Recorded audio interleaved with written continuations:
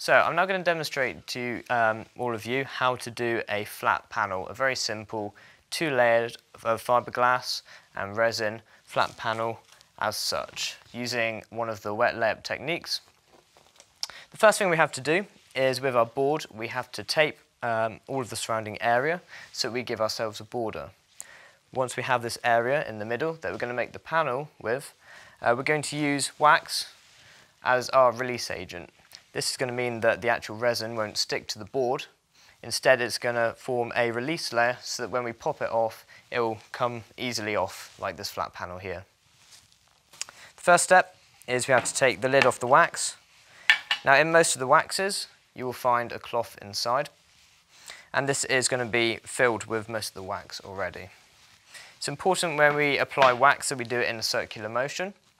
And this is so that we can overlap each of the spirals and so that we can get into all of the small little cuts or scratches that might be on the board. So applying, you do it in lots of very small little circles. You want to do this all the way around the board and make sure you can cover everything between the tape marks. If you're ever not sure on what area you've waxed, just use the light to help you Get down low on level with it and take a look over the surface. You should be able to see a matte appearance where you've applied the wax and um, your normal finish of the surface where you haven't. Just keep on going. Much like waxing a car or polishing, uh, we always want to go in a circular um, rotation uh, motion whenever we apply anything. This is just going to ensure even coverage.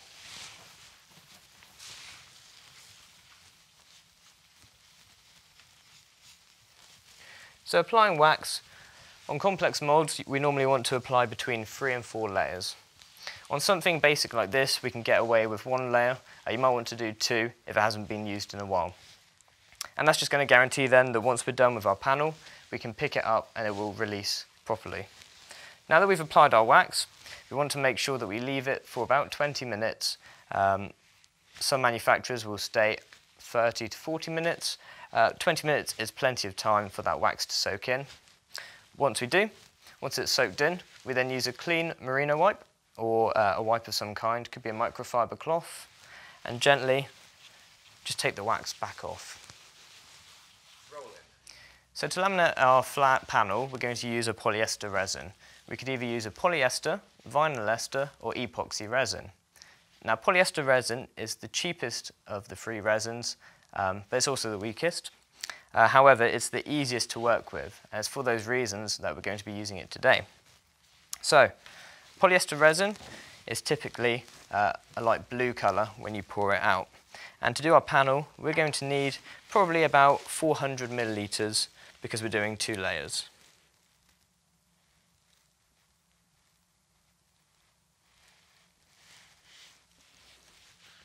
So, before we start to use all of our resin and start laminating, we need to make sure that we have all of the necessary equipment for the actual process before we add the catalyst. As soon as we add the catalyst, we only have about 15 to 20 minutes to work with this resin before it starts to go gloopy and we can't use it anymore. So it's important that before we add the catalyst, we make sure everything is correct and working. So we need our fiberglass. I've cut out two sheets of 300 gram uh, chop strand mat here, and I know that these fit perfectly on top of my mould. Our rollers, we need to check and make sure that they can spin okay, and this is important uh, when it comes to the actual consolidation process, which I'll get onto in a little bit. The last one is to check that your fluffy roller um, spins as well. Okay. If it doesn't, then you're just going to end up dragging the actual fiberglass rather than putting the resin evenly over the top of it. Now, catalyst is the most dangerous thing that we work with here. It's highly corrosive and it's very much an irritant as well. So if that gets on your skin, it's not going to be very good. And it's for that reason that we need to make sure that we wear PPE, all of the relevant PPE that we have to. So that includes goggles, blue nitrile gloves, or in some cases black marigolds, and also a white overall as well. Now we add catalyst at 2% uh, to the amount of resin that we have. Here I've poured out 400 millilitres of resin. So those at home who are good at maths can probably work out how much I'm going to add already, which is 8 millilitres of catalyst. So, holding it out from distance, you want to push it and fill it up until it goes up to 8 millilitres.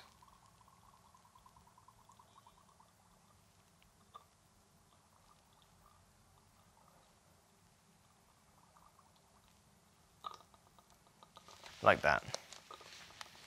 We now have roughly about 8 millilitres of catalyst. Before mixing, you want to make sure that your mixing stick gets covered in the resin. This is going to ensure an even distribution and even mixing of the actual catalyst itself. Once ready, pour that in and start mixing. Now, polyester resin is normally a purple or light blue colour whenever we use it. And this is essentially because it's a plastic. As soon as we mix in catalyst, you should start to notice a change uh, between the colour. And it should start to go a much, much darker colour. And this will start to go dark brown, and then followed by a dark green. So, next we want to bring our pot as close to the mould as we actually can. This is to prevent resin going absolutely everywhere. Uh, and as you will soon learn to realise if you're working with composites, resins and gel coats go everywhere. They spatter uh, on everything you don't want it to go, okay? So, next step is submerge your roller inside the actual pot. There is no neat technique to doing this. You just want to put it on quite thick.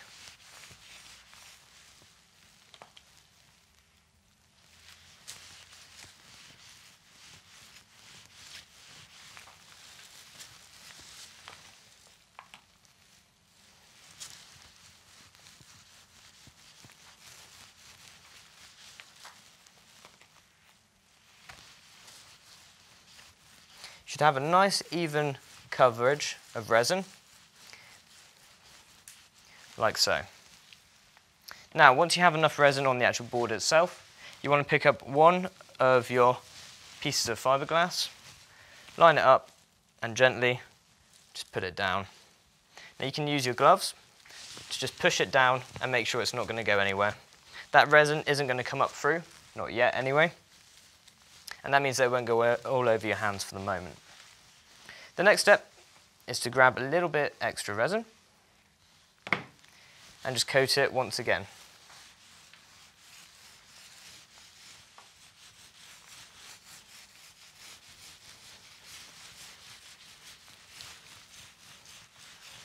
As we can see, the colour of the fiberglass has already changed.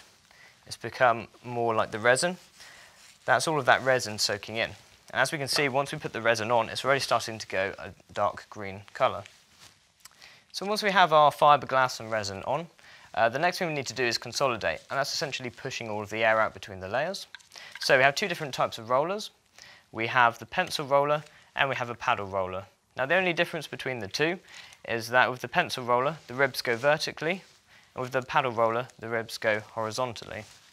Now if you need to remember it, just think about a paddle boat and then that's how you can remember the paddle roller, okay? Now, pencil rollers are only used for one layer of fiberglass and to get into corners, whereas the paddle roller is used for two or more layers at a time.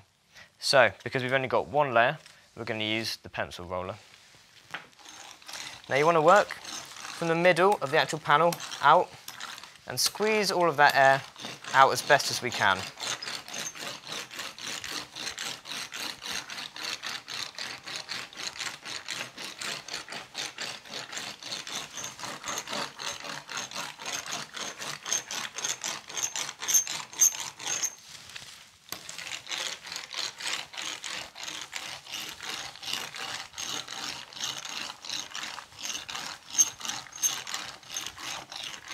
Now it's important when we come to consolidate that we don't push down too hard.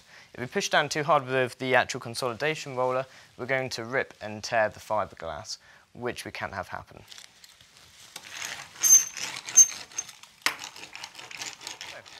Now that we've got one layer on, that's perfect. We're, we know that we have good bonding to um, coat, if it's there, or to the wax that's over that mould. So next we've got two layers, so we need to do exactly the same again. But this time when we consolidate, we need to use the paddle roller. So, we put some more resin on.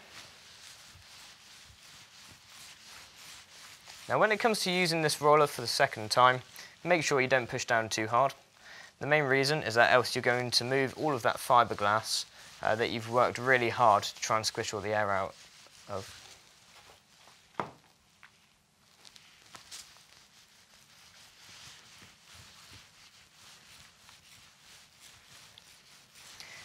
So again, if you look at the light, you should see quite a thick coating of resin. That's when we know that we have enough on top. We get our second layer of fiberglass and just put it on top. As soon as we're happy with the layout of it, we then just push down gently again. The resin won't come up through the actual fiberglass yet, so it's not going to go all over our gloves. Now it's a good idea whenever you do this to wear multiple layers of blue nitrile gloves in case if you do, because then you can just shed one layer off and you have a clean pair underneath. Grab some more resin, just like the previous layer,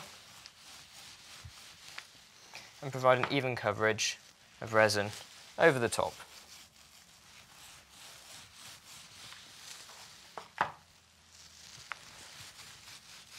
Now don't focus too much on putting a really thick layer on, because when we consolidate and push all that air out, we're also going to bring up all of the resin from the previous layer up onto the top surface as well.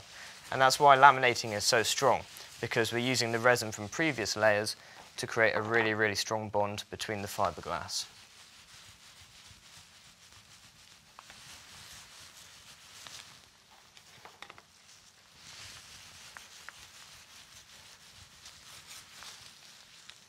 So, now that we've put enough resin on top of our final layer, because we're using two layers or more, we're going to be using the paddle roller. So the paddle ro roller, remember, is the one with the horizontal ribs, and these are really, really good for condensing two or more layers together. You want to start from the middle. You want to apply finger pressure, push down.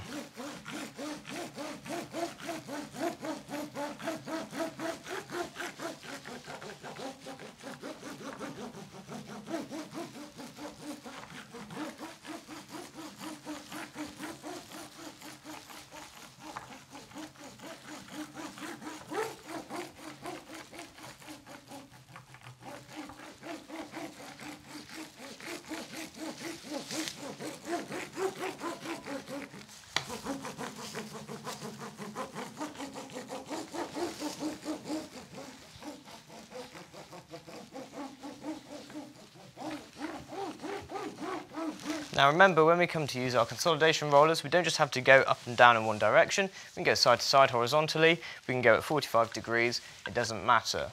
The one thing you don't want to see, however, is any white patches left over from areas where there isn't enough resin, and you can still see that fiberglass appearance.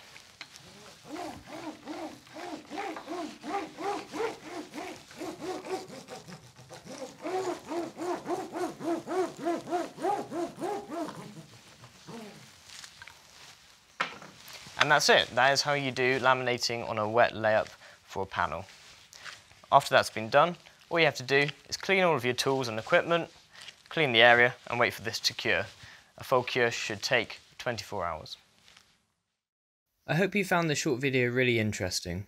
If you have, we have a wide selection of free workshops and courses covering a wide range of GRP and composite courses. To find out more, inquire or apply by following the link in the description or go to South Devon College, Smart Skills, Composites.